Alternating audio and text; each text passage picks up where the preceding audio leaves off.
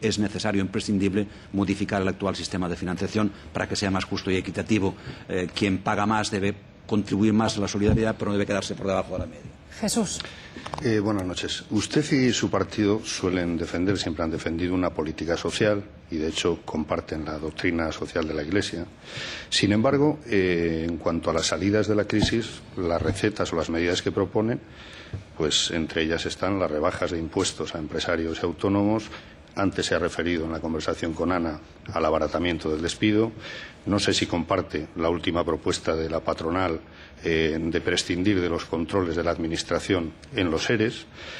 Y voy más allá. Eh, compartiría, por ejemplo, la medida que hoy ha tomado Alemania, que ha propuesto Merkel, Angela Merkel, de abrir la nacionalización de la banca. Compartiría también la reducción de los sueldos de los altos ejecutivos, por ejemplo. Vamos a ver, Merkel es una demócrata cristiana como yo, y por tanto, en ese sentido, tenemos mucha afinidad ideológica, ¿no? Eh, comparto un nuevo contrato en el que, en cualquier caso, hubiese mayor flexibilidad en cuanto al coste, ¿no? Y compartiría la nacionalización de la banca si fuese necesario, ¿no? pero por un periodo muy breve. Yo creo que la función pública del Estado no es gestionar un banco, sino en cualquier caso en el supuesto de que se necesite, se nacionaliza ese banco, se limpia lo que está negativo de ese banco y vuelve a privatizarse.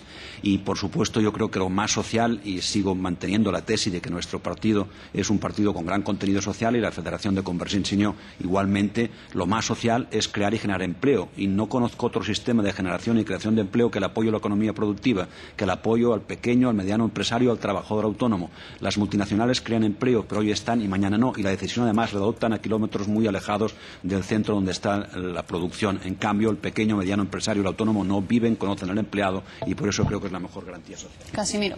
Eh, señor Durán eh, corríjame si le he entendido mal.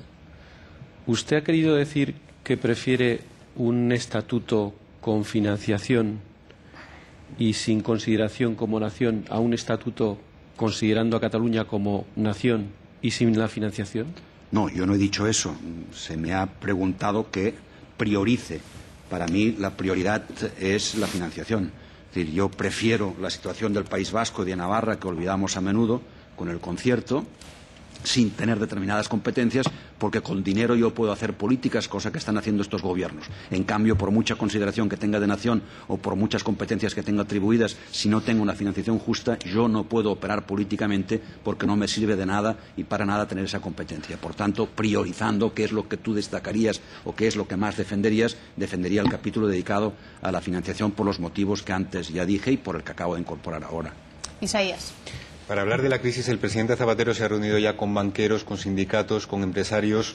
En un Estado autonómico como el que es España, ¿no sería conveniente también la foto del presidente con los presidentes de todas las comunidades? ¿No sería conveniente hacer una conferencia de presidentes autonómicos que prometió tres el, el presidente en el debate del Estado de la Nación para compartir diagnósticos y ver soluciones? Yo creo que sí. Creo que es una de las reuniones imprescindibles en este contexto desde la perspectiva política, la del presidente del Gobierno con los presidentes de las comunidades autónomas para intentar aunar esfuerzos de lucha contra la crisis.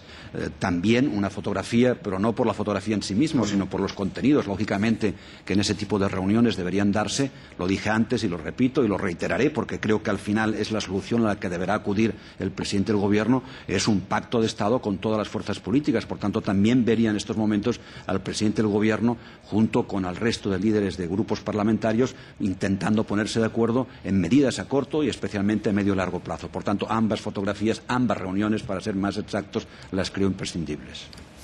Sí, yo quisiera seguir con este mismo tema. Lleva usted tres semanas eh, reivindicando esa gran foto de familia de patronal, sindicatos, empresarios, eh, partidos políticos y comunidades autónomas. Primero lo hizo en una comparecencia pública en el Congreso de los Diputados, luego lo hizo desde la tribuna de oradores con motivo del pleno eh, monográfico sobre la crisis y el desempleo. Han pasado tres semanas y parece, entiendo, que no ha habido ninguna respuesta del presidente del Gobierno. ¿Le ha llamado? ¿Piensa usted pedírselo por escrito, presentarse en la Moncloa? ¿Qué se puede hacer ante esto? No, bueno, no simplemente hace tres semanas sino que hace mucho más tiempo que vengo defendiendo esta tesis. De hecho, en la campaña electoral, ahora hará un año aproximadamente, porque ya presumía no lo que ha sucedido después, porque nadie adivinaba realmente lo que iba a pasar, pero entendía, y así sigo defendiendo, que nuestro sistema económico, nuestro sistema de crecimiento había caducado, defendía una repetición de un pacto de Estado entre las fuerzas políticas, patronal y sindicatos. Y seguiré insistiendo en ello.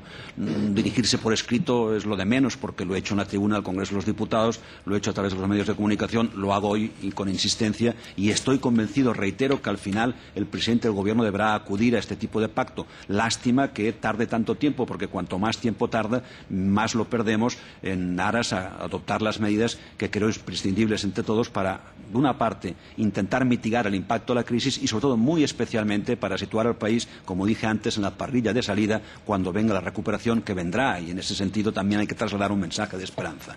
Estamos hablando de la actividad en el Congreso de los Diputados, de su actividad como miembro del Congreso de los Diputados y quiero que vea con nosotros unas imágenes que comente porque conoce como pocos esa Cámara. Estas imágenes son del Archivo de Televisión Española, me parece que de hace unos 20 años, creo que del 86 más o menos, y ahí tenemos al señor Durán y Lleida y a otros muchos diputados que también les van a sonar. ¿Qué le sugieren todas estas imágenes de hace tantos años? Bueno, es un recuerdo de mi primera presencia, de mi primera etapa en la política española. Yo fui diputado de los años 82 a 93. Una parte de ese tiempo lo compartí con mi condición de diputado al Parlamento Europeo y evidentemente la mayoría de estas caras ya no están. Yo era muy joven, sigo siendo muy joven, tengo un año simplemente, por tanto sigo siendo muy joven y tengo mucho tiempo por delante. ¿no?